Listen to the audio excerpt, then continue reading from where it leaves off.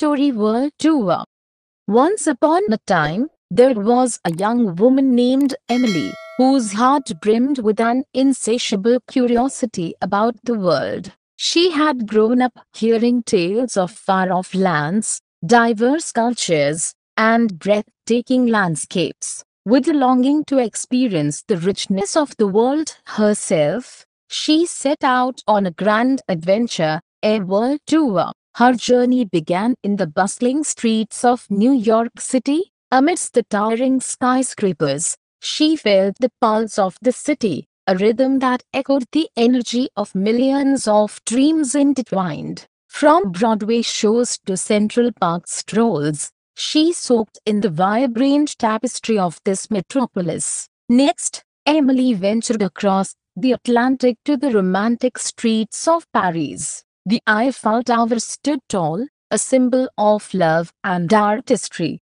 She wandered through cobblestone alleys, savoring croissants in quaint cafes and admiring the masterpieces at the Louvre. Her itinerary whisked her to the ancient wonders of Misr. The pyramids stood stoically in the desert, whispering tales of civilizations long gone. Emily rode camels across the golden sands, marveling at the enigmatic sphinx guarding the secrets of the past. From there, she crossed the vast expanse of the Pacific to the serene landscapes of Japan. Cherry blossoms bloomed in delicate shades of pink, painting a picture of ethereal beauty. Emily embraced the tranquility of Kyoto's temples and the modernity of Tokyo's bustling streets. Her journey continued, each stop a chapter in her grand odyssey. She danced to the rhythms of Brazil's carnival, trekked through the Amazon rainforest,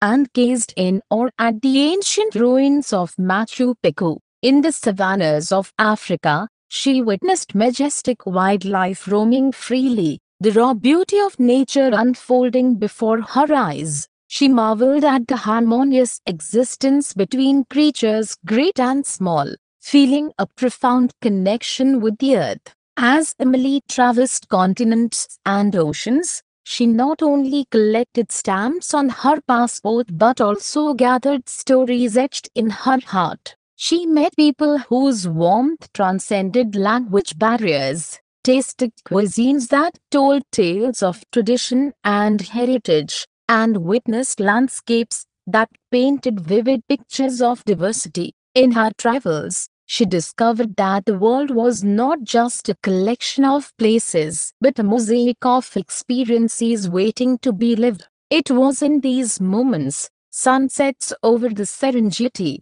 laughter shared with strangers, and quiet contemplation atop ancient ruins, that Emily found the true essence of her journey. Finally, as her world tour came to a close, Emily returned home, her suitcase brimming with souvenirs, photographs, and a lifetime of memories. But more than anything, she carried within her a newfound wisdom, a deeper understanding of humanity, a profound appreciation for diversity, and an unquenchable thirst for the boundless adventures that the world had to offer.